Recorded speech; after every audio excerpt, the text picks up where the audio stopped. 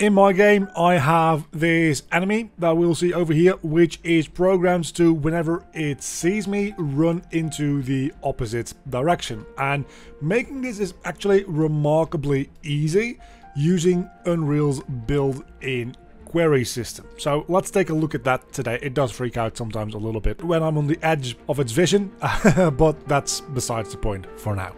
So let's get started in this entirely new project over here. The final result of which will be down below in the description to download for Patreon and YouTube members to play around in, but if you just follow along, you should be fine. Let's get started uh, by making a new blueprint class uh, character, uh, because we need a enemy to actually drive uh, through that AI query system. And here we'll simply use the uh, Manny skeleton and give it the proper animation blueprint, and just as simple as that, we have a basic enemy. On begin play, we'll uh, get the AI controller uh, of this actor itself. Usually I would put this on the AI controller this code, but that requires us to make it a separate AI controller, and I don't feel like doing that. So what we'll do is we'll just get the controller this way, and we'll run a behavior tree, and we'll need to make a behavior tree. So we make a behavior tree, call that uh, BT run away. And all this is going to do is it's going to find a location to move to. That's what we're going to be using the query system for. And then it's going to move to that location. So I have set up a small little behavior tree here, which is the very, very basics. We have a blackboard with a key for the moving location and we have a parallel node which uh, makes us move towards that location and then in the parallel task it will be running a EQS query and that's the thing that we're going to be focusing on here today. This query is going to be updating whatever this move to location is. That way the enemy will be constantly trying to get away from us. So let's get into that. For now, uh, we're going to start off by making a blueprint class for a uh, within all classes for a EQS testing pawn and this is just for visualization uh, purposes. So let's call this EQS testing. And when we pull that into the world as you can see here it has a little pawn icon and we can put in somewhere here in the details a query template. And this will just visualize us and show us kind of how this works to begin with. So let's make ourselves that query template. And in artificial intelligence, we can make an environment query and we'll call this run from player. And if we just drag that into this template over here, uh, we'll see nothing happens yet. So let's open this up and we get a interface that looks a little bit like the behavior tree interface. And we're going to do this side by side because I want you to be able to see how this updates in real time. So if we pull off this route, we have a list of things that we can do. And this will generate a number of points around a certain location that will then be weighed against each other to decide where the character should, in this case, move to. It could also be used for a location that a character should shoot at or whatever. You can do a lot of things with this. The simplest implementation is just getting the player character and moving away from it, which is what we're doing today, but you can be really, really creative. So if we uh, use a grid, for instance, you will see it starts generating points around it in a grid. And here we can see the grid half size. That is how big the grid will be in its radius. And then the space between will be how, well, big the space between is. And the two of them together will make for the amount of points in your grid altogether.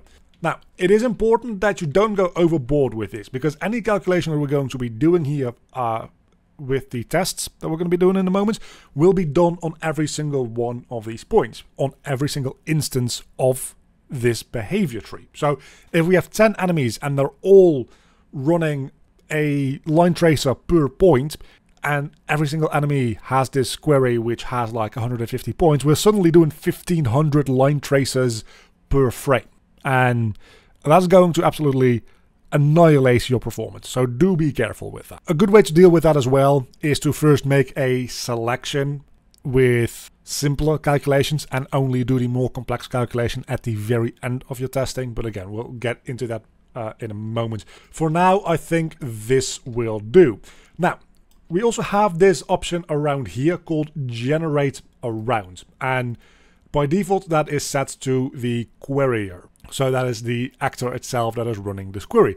We can make this into any context that we could possibly want. And let's actually make a uh, special context just to show you. So if I right click here and I go to blueprint class and I look for context, I can make a environment context blueprint base and we'll call this um, player context and this will be getting the player. So if we open this up, we've got four functions here that we can override and that is provide actor set, provide locations set, provide single actor or provide single location. In this case, we're going to be providing an actor because we want to get a reference to the player. So we can override this and this is simply, uh, we can see the create object reference and the querier actor reference and then the resulting actor. We're not going to be using any of these two, but if you, for instance, want to have a enemy that has a throwing weapon, I'm just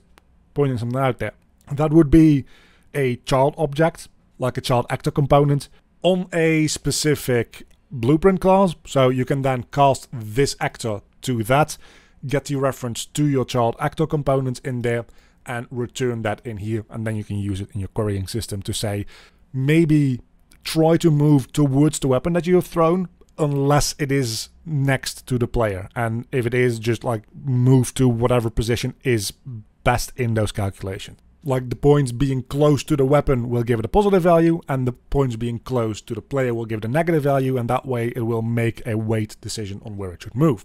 For now though we'll just simply get the player character and we can just simply return this. Again, this is the most simple implementation of this that you could ever think about.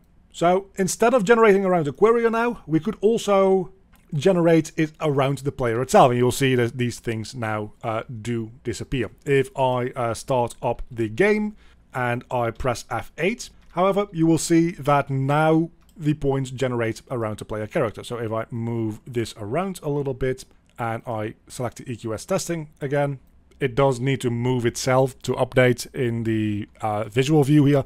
That doesn't have anything to do with the actual way it works um, when running these queries.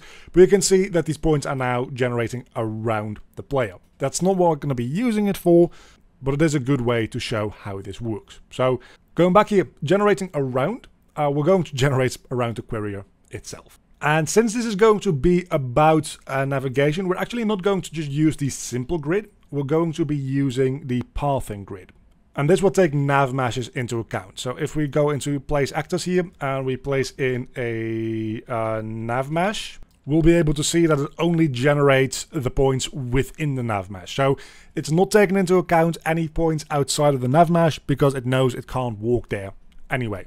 And the absolutely genius bit about this is that of course the nav meshes can also include things like these slopes and higher up platforms.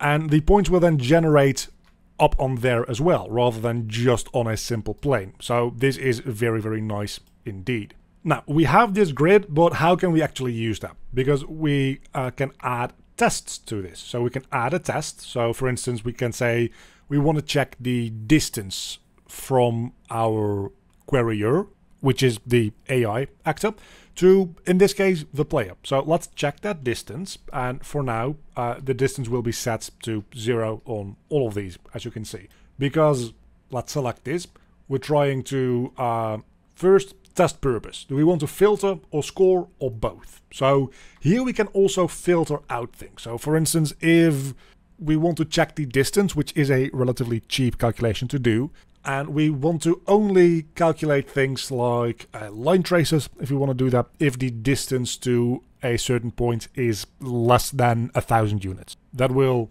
eliminate a lot of these points and make those line traces a lot less intensive on your CPU. Uh, for now, we're going to use this to just uh, score our points. And we can see by default it's calculating the distance from the querier to each point on a scale of 0 to 1. So the points just beneath it are 0.05 and the furthest away points are scored with a 1. So when it has to choose a position to walk toward, it's going to choose whatever has the highest value here. In this case, that would be the value of 1.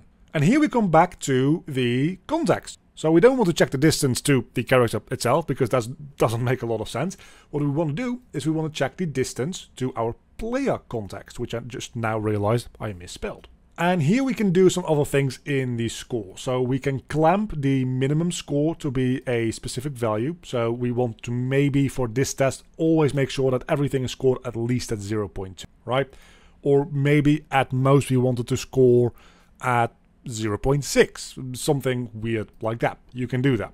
You can also uh, influence the fall off. So this is just linear, meaning if you're twice as far away, your score is going to be twice as low. But you can also do things like square, where it builds up slowly, or uh, the square root, where you...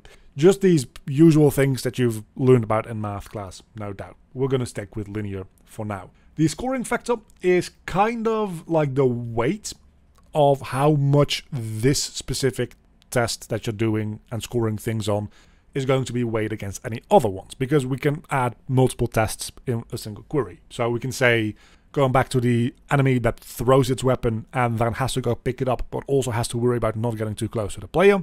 We can say, okay, your weapon will influence with a scoring factor of 1 in the positive direction. So any points around the weapon will be scored positively by 1, but anything that is close to the player will be scored negatively with 2. So that way it has a preference for staying away from the player compared to getting close to its own weapon.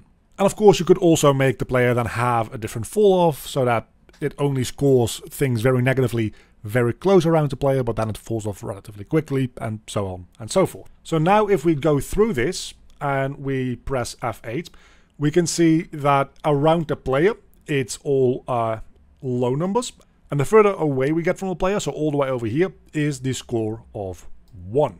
If we then go back to our behavior tree here and we run this query, we can choose which query we want to run. We only have one of them, of course, at the moment. And we want to uh, run for the single best item, single best item from the best 5%, single best item from the best 25%, or all matching. Let's go for single best item. If you want a little bit of randomness, you can also get the single uh, best from the top 5% or so on. Then which Blackboard key are we going to set this to? Uh, for us, of course, that's going to be the move location. So it's going to try to run away from the player. And while doing so, it is going to set the location that it should be moving to to whatever this query runs. So this is one way to set that up. There's actually an even easier way to do that, and that is if we just add in a selector here. You can actually run a query as a service on a uh, node, so we can even put it on here. And that way we can say uh, we want to move to location, and every half a second or so, we want to run the query that we uh, made. And of course, that's going to update the move location. So that way you don't need to worry about the parallel node, which can be a little bit weird sometimes. And now we will see a enemy that will be constantly trying to move away from where we are at. So wherever we go, he is going to find the furthest point from us in the nav mesh and move to that instead. His animation blueprint doesn't seem to be working all too well though, but that's not the point of this video. So that's the basic idea of queries. So now I change a couple of things around, so it's going to be more scared of the player than it cares about getting towards its goal. So now it wants to go toward the box, but when I get close to the box, it gets the hell away from here and finds a place far away from me, which is a lot more important to it. But then when I move away from the box, it knows, hey, wait a second, you exist far away again, and I'm gonna go to the box. And when I go back close to the box, it's gonna start running away from the box again. And again, this is a pretty simple and uh, not overly intelligent artificial intelligence uh, to work with. Hopefully it gives you guys a bit of a better insight as to how all of this works. Again, this project file with this very basic setup is down below in the description for patrons and YouTube members to download and look through a little bit and just play around with if you'd like. And a very big thank you to all of my Patreons. You can see them on screen right now. If you want to help out supporting the channel, there's a link down below in the description to the Patreon page. And a special thanks to my Cave Digger tier patrons Sergey Thomas,